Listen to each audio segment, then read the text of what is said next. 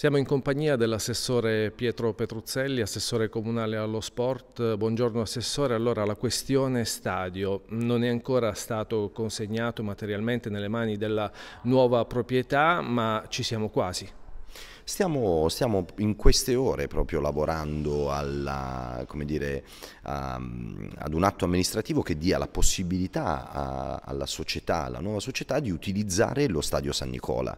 Il, um, dire, le linee guida di questo atto amministrativo sono quello, come sapete, che la manutenzione ordinaria sarà a carico della, della nuova società, lo stesso De Laurentiis nella manifestazione di interesse che ha presentato per ereditare il titolo sportivo aveva ipotizzato una cifra intorno alle 200-250 mila euro come oneri di manutenzione ordinaria a carico suo e però differentemente dal passato la manutenzione straordinaria sarà a carico dell'amministrazione comunale.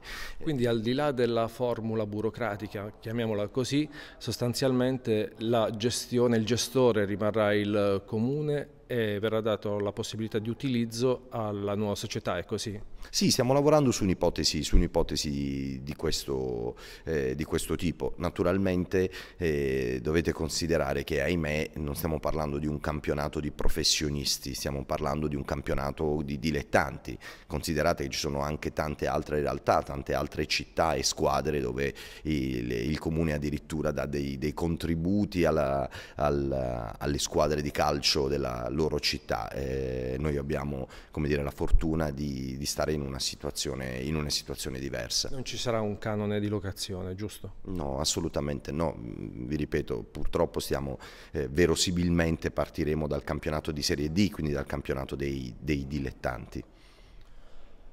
Per quanto riguarda la questione che è rimasta così, tra virgolette, appesa riguardo alle ai beni di Gian Caspro, dell'ex presidente Gian Caspro, eh, c'è stata una svolta in questo senso o ancora no?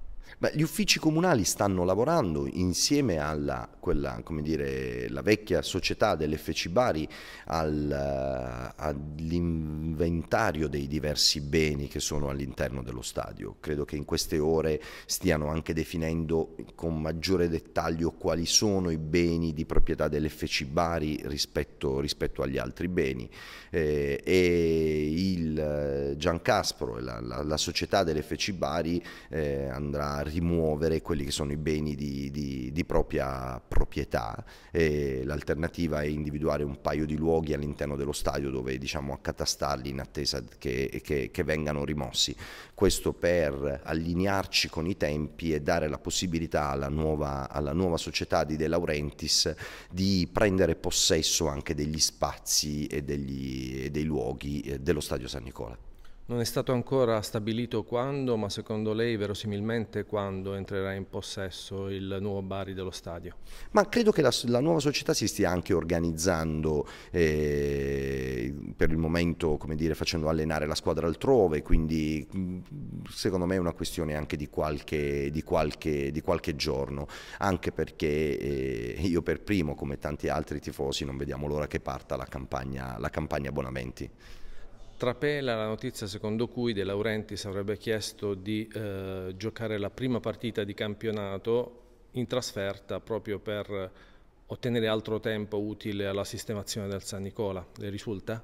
Beh, questo non, non, glielo so dire anche perché rientra nelle dinamiche diciamo, del, della federazione e quindi delle dinamiche più sportive che non, che non seguiamo noi direttamente in prima persona come, come è giusto che sia. Eh, ritengo che possa essere diciamo, comprensibile avere qualche giorno in più per, tra virgolette come si dice dalle nostre parti, prendere l'aria della masseria, quindi avere anche una, una maggiore eh, dimensione degli spazi dello stadio e forse per farsi trovare diciamo, pronto per la prima partita in casa, sperando che il pubblico risponda eh, con un'ampia partecipazione, che è la speranza dire, di tutti.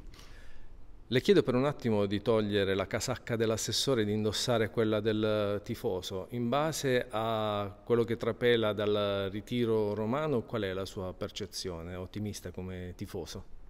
Beh, per la città è uno shock questa cosa della ripartenza dalla Serie D, ce ne, ce ne o verosimilmente dalla Serie D, eh, ce ne accorgeremo sempre di più quando, quando inizierà, inizierà il, campio, il, campionato, ma eh, è bello pensarla come una ripartenza, come una sana, genuina ripartenza. Io sono un ottimista di natura, il, il, il vero tifoso della famiglia è mio figlio che non vede l'ora di essere riportato, riportato allo stadio per tifare i propri beniamini e per passare anche un po' di tempo con, con, il, proprio, con il proprio papà. Grazie all'assessore Petruzzelli. Grazie a voi e soprattutto colgo l'occasione per fare un grande in bocca al lupo a Il Galletto TV, a questa web TV che sta partendo eh, con Maurizio che, che la dirige. Eh, il, la città e i tifosi hanno bisogno anche di voi e quindi continuate a fare il vostro lavoro. Noi ci siamo per tutte le informazioni che vi servono.